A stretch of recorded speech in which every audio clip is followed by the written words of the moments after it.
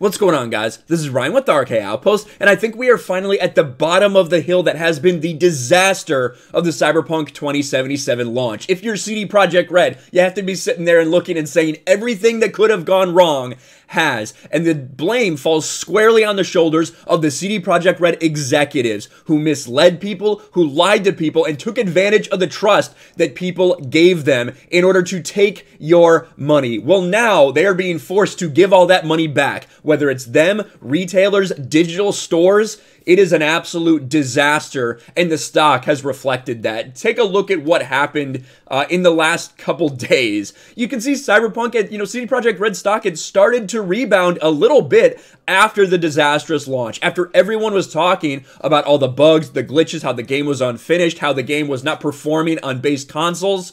It started to do a little bounce back.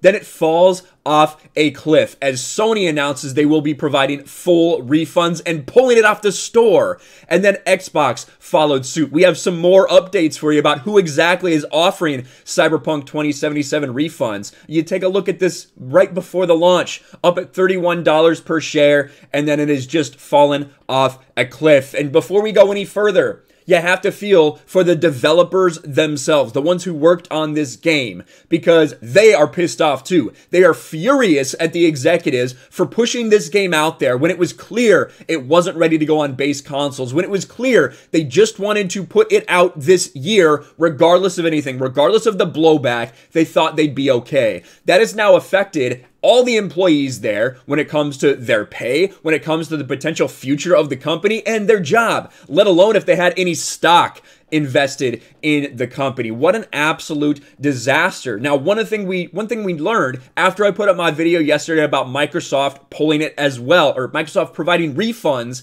as well, but leaving it up on the store, we saw this leak out. It was from Best Buy. Best Buy is allowing returns of un of opened Cyberpunk 2077 copies until December 21st. Now, that is departure from the norm. Usually if you have opened it, you're not going to be able to return it to Best Buy. That is their policy. But look at this. Normally, Best Buy is unable to offer returns of opened game software per our return and exchange policy. However, after some deliberation and seeing that the vendor will be allowing returns through 1221, which is what they announced, CD Projekt Red, when they first came out with this apology, hey, sorry, we lied to you and stole your money. You can try to return it with us if you send us an email before December 21st. So, if there's anybody that still needs to do that, I highly recommend you do. Best Buy is going to do the same thing allow returns of open Cyberpunk 2077s at their store. Now, CD Projekt Red set records when this launched. They had 8 million pre orders. Who knows? We don't even really have the official numbers yet from what I've seen of the first week of sales. It has to be astronomical, but the returns will be as well. It's so much so that you now have articles being written. Here's how to get your Cyberpunk 2077 refund because it's so many people. CD Projekt Red, like we talked about, you can email them. Uh, they sent me a stock email back. That's all I've gotten. I haven't had any follow up. They're supposed to follow up. We'll see if it happens. Uh, PlayStation, like we said, they will offer full refunds and they pulled it down off of the store. Xbox as well, Microsoft is accepting full refunds for any digital game, regardless of how much you've played it.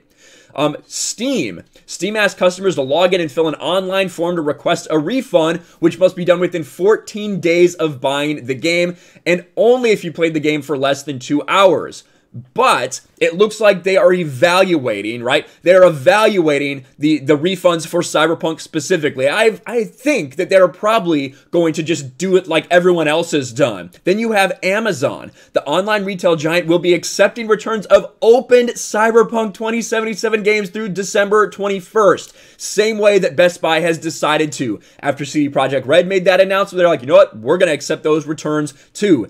GameStop is really the only one who is not doing it. Vice has reported GameStop advised its in-store employees not to provide direct refunds of open copies of Cyberpunk 2077 and refer customers back to CD Projekt Red. That is what happened to me when I went to GameStop was where I got my PS4 copy, which again, I played it on PC. I'd pre-ordered this forever ago. Cyberpunk on PC is a different experience than this. Tried to return it, they said no dice. That is why I am stuck in the email chain. Evidently, for some people, they did make some exceptions. They did return some open copies if you had bought it within seven days, but obviously that window has come and gone for GameStop. Now, seven days is too long. It came out on December 10th. And of course, the Best Buy.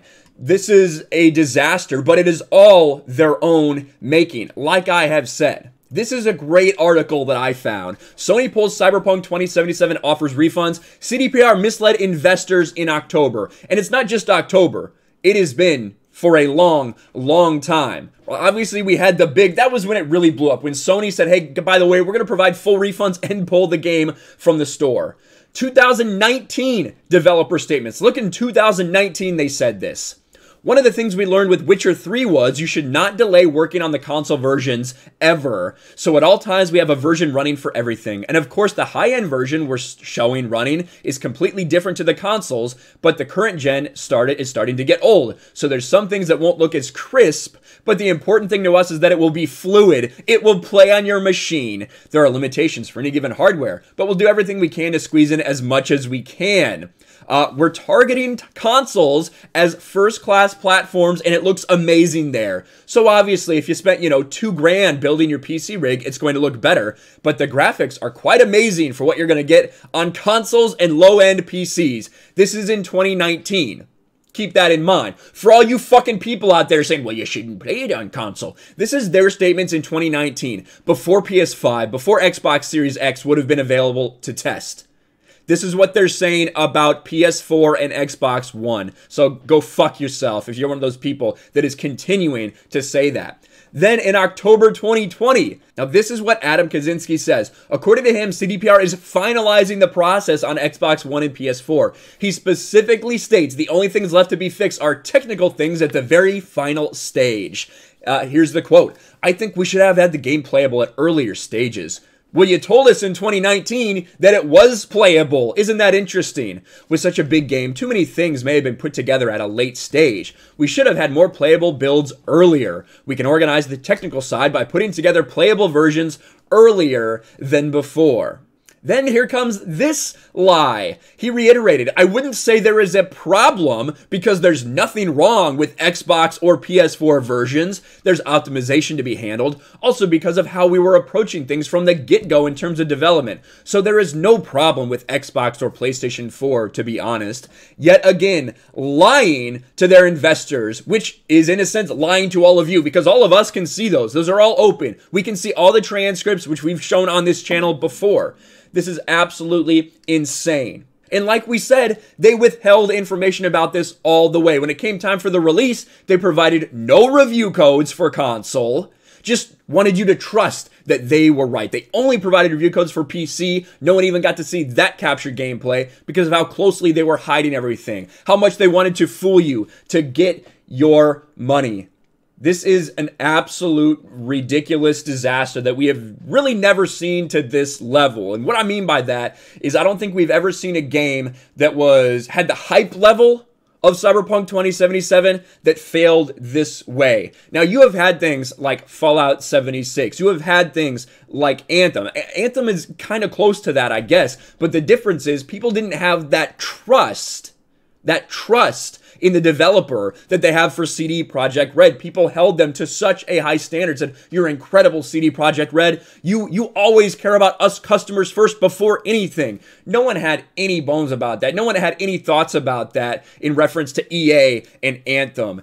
Now, I don't think that this game is quite as broken as a lot of those games, but the difference is the misleading of customers, specifically telling them one thing, hiding any evidence and then coming out with this. I think that is the big difference when it comes to these things. Let me know your thoughts in the comments below. Again, I want to say, uh, if you're a developer for this game, if you put your heart and soul into this game, I feel for you because the executives fucked you over. They didn't give you enough time, and now we are where we are. Let me know your thoughts in the comments below. Smash a like button, subscribe to the channel, ring the bell for notifications, share this video out there, and I'll talk to you later.